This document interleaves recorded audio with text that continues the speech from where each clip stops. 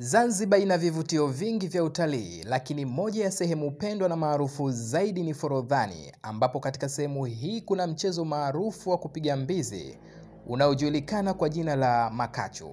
Mchezo huu ni wa aina yake, kwani umejaa mbwembwe nyingi za kusisimua na zenye kuhitaji ujasiri kwa wapiga makachu wote.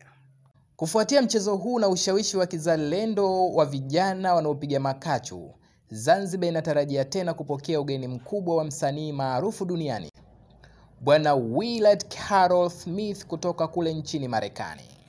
Na hii itakuwa ni mara ya pili kwa msanii huyu kuja visiwani Zanzibar, ambapo alishawahi kuja mnamo mwaka 2008 na kufanikiwa kutalii katika vivutio vingi ikiwemo hifadhi ya Serengeti kwa upande wa Tanganyika. Bwana Willard Smith au kwa jina jingine The Fresh Prince ni msanii bingwa wa filamu, mzalishaji wa filamu, lakini pia ni mwanamuziki nguli wa rapa. Hivyo ujaji wake visiwani Zanzibar utawavutia wakazi wengi wa Afrika ya Mashariki, na siku hiyo upo uwezekano mkubwa wa Forodhani kufurika watu mithili ya fainali za kombe la dunia zilizofanyika kule nchini Qatar. Mimi ni wako alihaji Mbwana, Juu Media.